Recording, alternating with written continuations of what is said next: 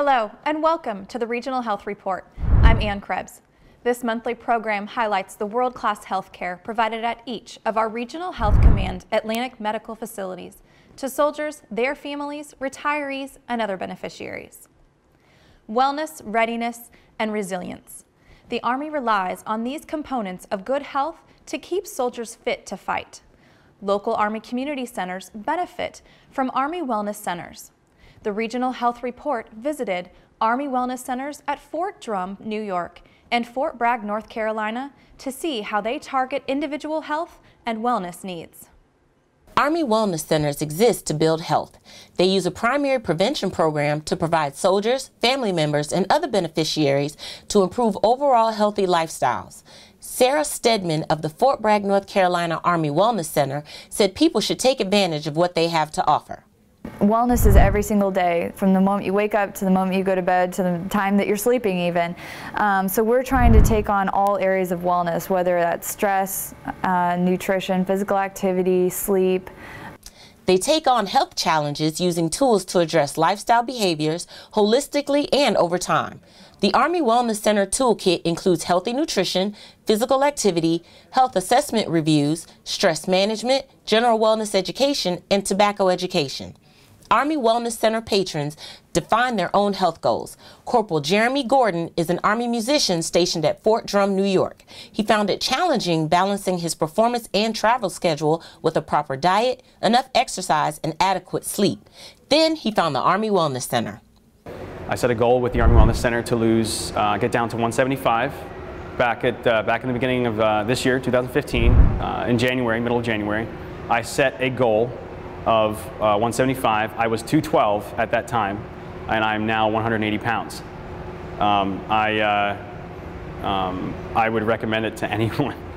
Army Wellness Centers don't only improve unit readiness, but the program can also help soldiers avoid overtraining and related injuries by discovering the right amount of activity for the individual. Staff Sergeant Matthew Williams suffered substantial weight loss during a deployment due to stress. They offer a lot of good uh, good options here for soldiers uh, in my position who come back from a deployment and, you know, they come back maybe in a different physical condition or recovering from an injury. So I, I use that to my uh, benefit.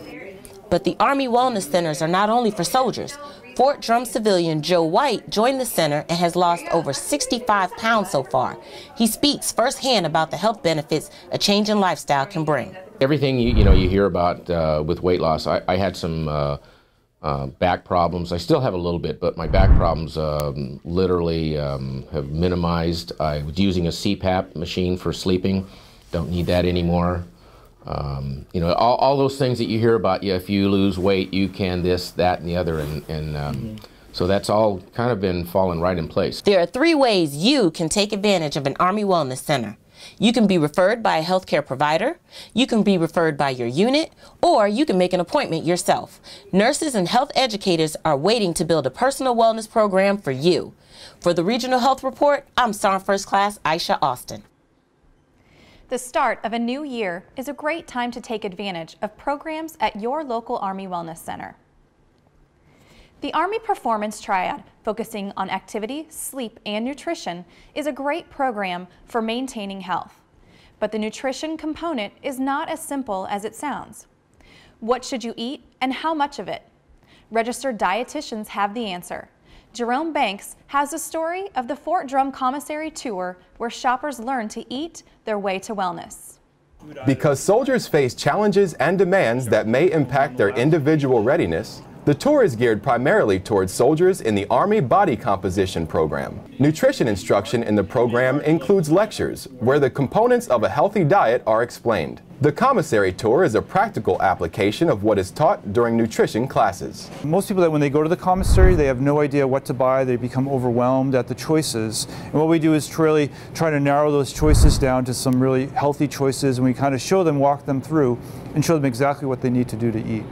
Brooks said the biggest thing people can do to improve their nutrition is learn to read food labels. I mean, the biggest thing is people just need to take a few minutes to read a food label and see what's actually in it and look at that food label and find out you know how much fats in the product how many calories what the serving size is many people don't understand what a realistic serving size is and many people actually eat above and beyond what that serving size is so they need to look at that food label and, and really adjust those calories and that fat that protein to really what they're actually eating so this is 71% fat. So, you know, we looked at some bacon products that were like 70, 70% fat, right?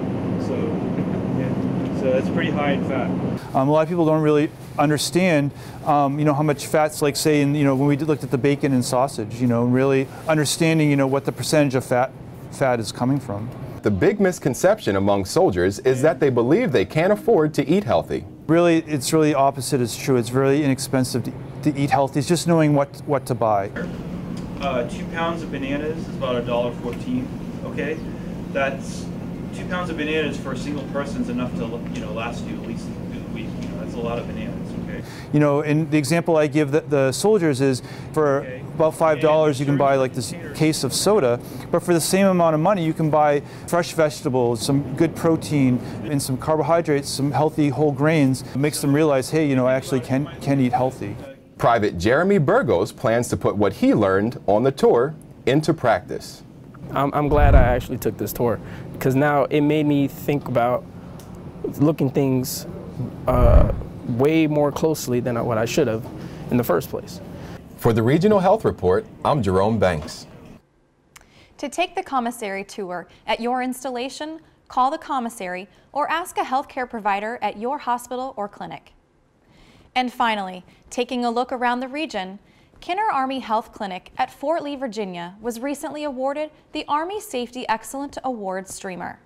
Kenner earned the award by having no serious injury, accidents or loss, or damage to high-value materials over the past year.